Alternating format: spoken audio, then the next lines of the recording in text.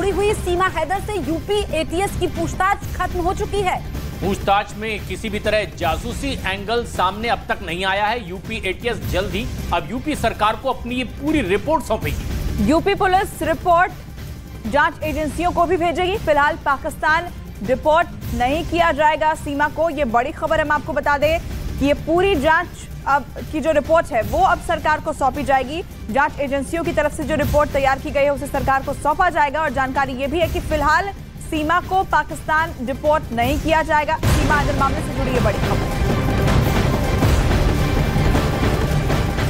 और आज भारतीय विदेश मंत्रालय ने सीमा हैदर को लेकर अपनी प्रतिक्रिया भी ज़ाहिर की है। न्यूज़ 18 के सवाल पर विदेश मंत्रालय के प्रवक्ता ने सीमा हैदर को लेकर क्या कहा है वो आपको सुनवाते हैं। सर नीरज हूँ न्यूज़ एटीन इंडिया से। सीमा हैदर को लेकर पाकिस्तान ने कॉन्सुलर एक्सेस मांगा है। क्या विदेश मंत्रालय का रुख है और क्या कॉन्सुलर एक्सेस दिया जा सकता है इस मामले में? नीरज, आपका प्रश्न था सीमा हैदर वाले मुद्दे पे। देखिए, इस मामले की जानकारी है हमारे पास और अदालत में इसकी पेशी हुई थी और उसके बाद उनको जमानत दे दी गई। वो बेल पे है बाहर। और मामले की जाँच चल रही है। और आगे की जानकारी उपलब्ध होने पर हम आपको बताएँगे। सीमा की गुत्थी को सुलझाने के लिए एटीएस की टीम लगातार उन सवालों का जवाब ढूंढ रही है जो सीमा हैदर ने पिछले कई दिनों में बार बार दोहराए हैं। पाकिस्तान से लेकर नेपाल तक के सीमा के कनेक्शन को सुलझाने की कोशिशें हो रही हैं। सीमा का नेपाल जाने का दावा जो सच साबित हुआ लेकिन जासूसी की सुई अब भी उस पर पूरी तरह से नज़र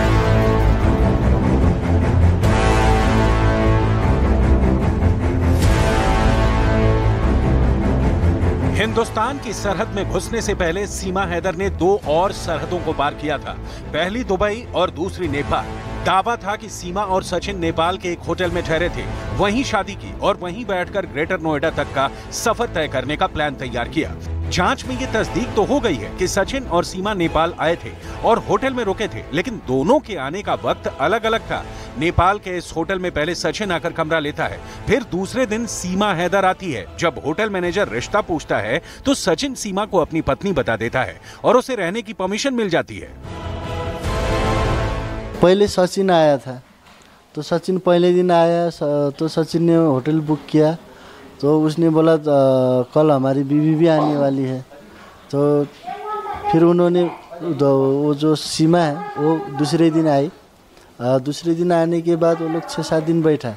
जब जाने के बाद भी पहला सीमा चली गई थी तो दूसरे दिन फिर वो सचिन गया था। सीमा जब नेपाल आई थी तो वो अकेली थी।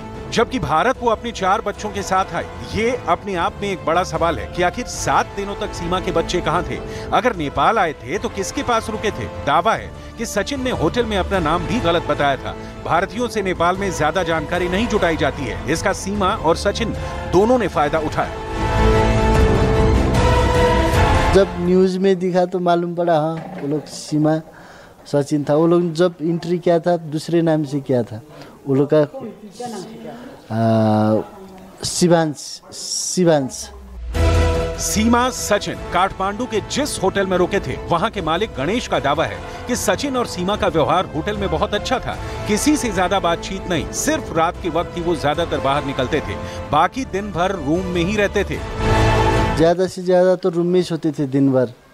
तो सुबह शाम को वो लोग बाहर निकलते थे तो फिर जल्दी आ जाते थे क्योंकि हमारा होटल शाम को साढ़े नौ, दस बजे सब क्लोज हो जाती है। तो वो लोग आठ, साढ़े आठ बजे पहुँच जाते थे। वो लोग ज़्यादा से ज़्यादा बाहर से फ्रूट्स केले बनाना जो भी है एप्पल्स फ्रूट्स खाते थे, ज़्यादा से ज़्यादा। और वो लोग अगर रूम में खाना खाए तो वो लोग वेज थाली खाते थे।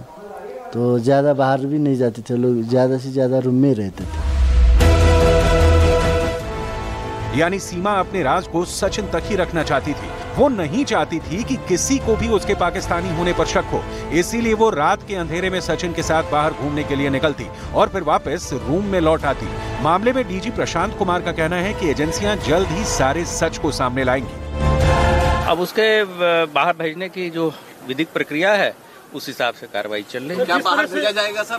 वापिस नहीं रिपोर्ट किया जाएगा? ये तो इसके लिए पहले से कानून तय है उस हिसाब से कार्रवाई। कानून अपना काम भारत में दाखिल हुई है क्या नाकामी लगती है सुरक्षा? नहीं नहीं ऐसा नहीं है। जो अगर हमारा बॉर्डर पोरस है और उसके लिए कोई पासपोर्ट की आवश्यकता नहीं है तो इसलिए इस तरह की चीज़ें लेकिन एक पाकिस्तानी नागरिक लेकिन एक पाकिस्तानी नागरिक नहीं ये तो किसी के चेहरे पे तो कुछ लिखा नहीं। सीमा और सचिन इस वक्त एटीएस के सेफ़ हाउस में हैं। सीमा और सचिन के अलावा सचिन के पिता नेत्रपाल और सीमा के दो बच्चों से भी सवाल जवाब किए गए हैं। पूछताछ के दौरान सीमा ने जासूस होने की बात से साफ़ इनकार किया और सचिन से मोहब्बत के चलते ही भारत आने की बातें दोहराई।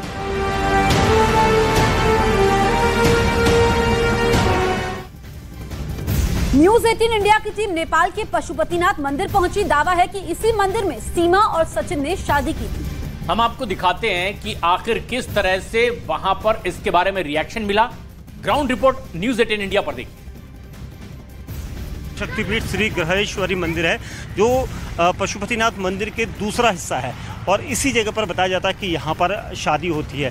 तो इस पूरे सीक्वेंस में काफ़ी कुछ है, क्योंकि नोएडा पुलिस जब जाँच कर रही थी तो ये बताया जा रहा था कि नेपाल के पशुपतिनाथ मंदिर में भी वो जाएँगे, क्योंकि एटीएस की टीम यहाँ पर रवाना होगी, ये कहा गया है। लेकिन अभी तक हमें जानकारी मिली है कि एटीएस की टीम यहाँ पर नहीं पहुँची है और वो यहाँ पर उस जानकारी को लेना चाहती है, जिसका दावा इन दोनों ने किया था। दोनों ने कहा था कि प्यार की खातिर ये वो यहाँ पर क्या वाकई में इन दोनों की शादी हुई थी या नहीं, ये देखना होगा, क्योंकि हम इसको दिखाने के लिए आपको अंदर की तस्वीरें भी लेकर जाएँगे, क्योंकि ये ऐसा मंदिर है जहाँ पर सिर्फ़ हिंदू धर्म के लोगों को ही परमिशन होती है उन लोगों के ही विवाह होते हैं। अगर यहाँ पर सीमा हैदर आई थी और सचिन के साथ शादी करने आई थी तो ये देखना होगा कि क्या उन्होंने अपना नाम बदला था क्योंकि सीमा हैदर सम, मुस्लिम समुदाय से है और यहाँ पर मुस्लिम समुदाय की एंट्री नहीं होती और ये कहा जाता है कि ये हिंदू देवताओं का मंदिर है और यहाँ पर जो शादी होगी वो उसी रीति रिवाज से होगी जो यहाँ पर हिंदू धर्म में और यहाँ पर ख़ास तौर से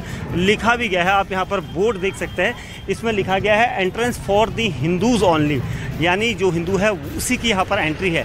तो सीमा हैदर और ग्रेटर नोएडा के रबुपुरा में रहने वाले सचिन मीणा ने जिस तरह से दावा किया था कि उन्होंने नेपाल के पशुपतिनाथ मंदिर में 10 मार्च को शादी करी थी और 10 मार्च के दौरान 10 मार्च से 17 मार्च तक वो यहाँ पर रहे थे और उस दौरान उन्होंने एक होटल लिया था। उस होटल के बाद उन्होंने इसी जगह पर शादी करने का दावा किया है। और सीमा हैदर कई तरह से शक के दायरे में आई और इसके बाद यूपी एटीएस ने एक लंबी पूछताछ की है और उन्होंने चार बच्चों समेत सेफ़ हाउस में अब उन्हें रखा गया है। इस पूछताछ के दौरान उनके खिलाफ भारत में अवैध तरीके से घुसने के लिए कानूनी कार्रवाई भी की जा रही है। और इस बीच यूपी एटीएस ने एक प्रेस नोट जारी किया जिसमें सीमा हैदर से पूछताछ के बाद उनके बारे में पूरी जानकारी साझा की गई है। सीमा हैदर से पूछताछ में क्या नया पर्दाफाश हुआ है और यूपी एटीएस की प्रेस नोट से सीमा के मीडिया वाले बयानों के बीच कितना अंतर है ये आप इस रिपोर्ट में देखिए।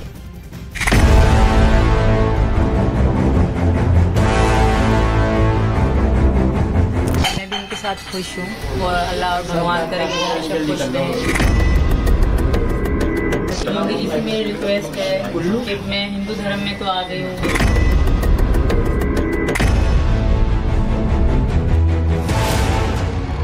पाकिस्तानी महिला सीमा हैदर से यूपी एटीएस कई दिनों से कड़ी पूछताछ कर रही है। सीमा हैदर और सचिन से यूपी एटीएस ने अलग अलग और फिर एक साथ में बैठाकर भी पूछताछ की। लेकिन अभी तक एटीएस के हाथ ऐसी कोई जानकारी नहीं लगी है, जिससे सीमा पर जासूस होने का शक गहराए। सूत्रों के मुताबिक यूपी एटीएस ने सीमा हैदर को एक पाकिस्तानी जासूस मानकर ही पेचीदे सवाल किए, घुमा फिराकर सवाल किए। यूपी एटीएस ने एक ही सवाल को कई तरीके से पूछा, लेकिन सीमा हैदर का जवाब एक ही था। उसके भारत आने के मकसद के बारे में यूपी एटीएस जितने तरीके से भी सवाल पूछती थी, सीमा हैदर उसका एक ही जवाब देती थी कि वो सचिन के प्यार में भारत आई है। वो सचिन मीणा के साथ अपनी ज़िंदगी बिताना चाहती है और वो पाकिस्तानी खुफिया एजेंसी आईएसआई की जासूस नहीं है। जो सबसे कह रहे हैं बड़े एजेंसी जासूस हैं, कुछ भी हैं, वो कर रहे हैं मेरी जासूस तो मुझे यकीन है कि कुछ भी नहीं होगा, कुछ है ही नहीं तो कुछ होगा कैसे? मैं इनकी मोहब्बत में आई थी। सीमा हैदर ने जो जवाब यूपी एटीएस को दिया है, वही जवाब नोएडा पुलिस को भी दिया था।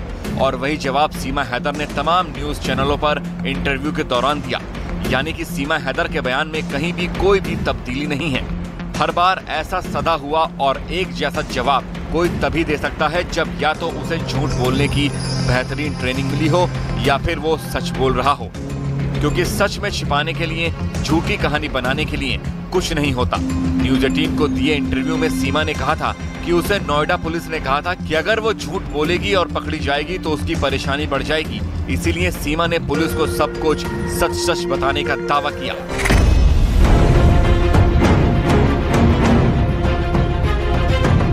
सीमा हैदर से पूछताछ के बाद यूपी एटीएस ने एक प्रेस नोटिस जारी किया। जिसमें 10 पॉइंट में सीमा हैदर के बारे में पूरी जानकारी दी गई है। इस प्रेस नोट में कहा गया है कि सीमा हैदर पाकिस्तान में अपना घर बेचकर सचिन के पास नोएडा आई थी। 4 जुलाई 2023 को नोएडा पुलिस ने सीमा हैदर को 14 विदेशी अधिनियम और आपराधिक साजिश के तहत गिरफ़्तार किया था। 2020 में ऑनलाइन गेम पबजी के ज़रिए से सीमा सचिन मीणा के संपर्क में आई थी दोस्ती बढ़ने पर दोनों व्हाट्सएप पर बात करने लगे। इनकी बातचीत जब प्यार में बदल गई, तब दोनों ने नेपाल में मिलने का फैसला किया। 10 मार्च 2023 को सीमा हैदर पहली बार कराची से नेपाल आई थी। इधर सचिन मीणा भी 10 मार्च को नेपाल पहुँच गया, जहाँ दोनों 10 मार्च से 17 मार्च तक काठमांडू के न्यू विनायक होटल में कमरा लेकर साथ रहे। 17 मार्च को सीमा पाकिस्तान चली गई और सचिन भारत लौट आया। इसके बाद सीमा ने हमेशा के लिए भारत आने का फैसला लिया। और अपने चार बच्चों के साथ 11 मई को पाकिस्तान के कराची से दुबई होते हुए 15 दिन के टूरिस्ट वीज़ा पर नेपाल पहुँची, जहाँ से वो बस के ज़रिए 13 मई को भारत आ गईं। जानकारी मिलने पर रबूपुरा पुलिस ने सचिन मीणा, सीमा गुलाम हैदर, सचिन के पिता नेत्रपाल को गिरफ़्तार कर जेल भेज दिया तीनों आरोपी फ़िलहाल जमानत पर बाहर हैं। सीमा हैदर का पति 2019 से सऊदी अरब में नौकरी कर रहा है सीमा का पति घर खर्च के लिए हर महीने 70 से अस्सी हज़ार रूपए सऊदी से भेजता था घर खर्च के बाद हर महीने 20 से पच्चीस हज़ार रूपए सीमा बचाती थी।